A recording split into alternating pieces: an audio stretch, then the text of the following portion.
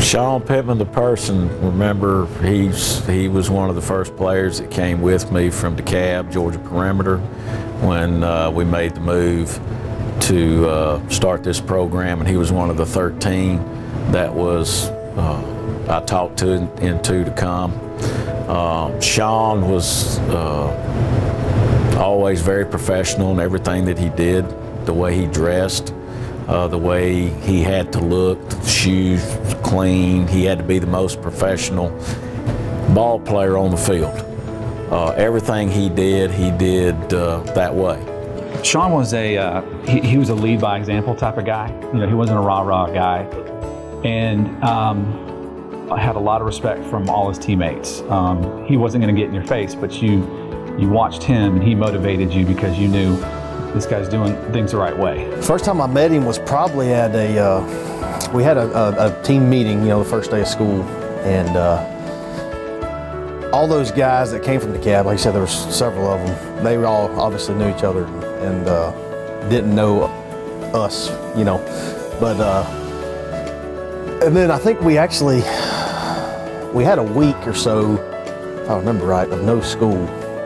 So, you know, we got together outside and got to know each other pretty well. And uh, spent a lot of time together because we didn't have a we didn't have a field till November. We were all a little bit surprised that you know we get on campus this was all dirt and there was a bulldozer out there. And we actually had to lay the sod before we could even start practicing. So um, so I think a lot of that being able to have guys that's been with Coach Cantrell um, that came along as that kind of that core group. Um, that kind of kept us from getting off the rails. I was in the outfield, shagging fly balls, and he came out for batting practice. And we had, the team we had at the time was pretty stacked. And he wasn't the tallest kid, wasn't the strongest kid. Um, the first pitch he hit over the left field fence, just a rocket. And then he hit about 12 more in a row, over and over and over. And I'm thinking, I'm, I'm getting bored because everything I, I see is over the fence, you know. But uh, I immediately noticed him, and then he switched around and hit left-handed. I'm thinking, who is this kid? I think we were at uh, Georgia Southwestern. We were playing, and, and um, there was a ball hit between short and third, and Petey was going towards the six hole, and I don't know that he threw his glove at it, but his glove came off. And Coach Galima there at the time um, got on him pretty good. I remember our pitching coach at the time, Hal Galima, used to used to get on Sean pretty good, and he'd make those errors and whatever. Hal was the pitching coach and say, "Sean, you're the worst detriment to this pitching staff I've ever seen." And maybe a little known to a lot of people is he was a good drummer, great musician.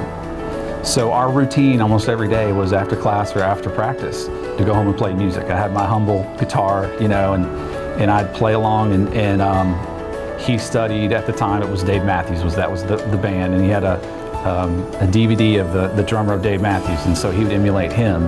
I remember he used to wear his Creed T-shirt underneath his jersey. He was a big Creed fan. He'd play games with a Creed T-shirt. Underneath, that's where that was his his go-to undershirt. I think it was a Creed shirt. He was a Creed guy.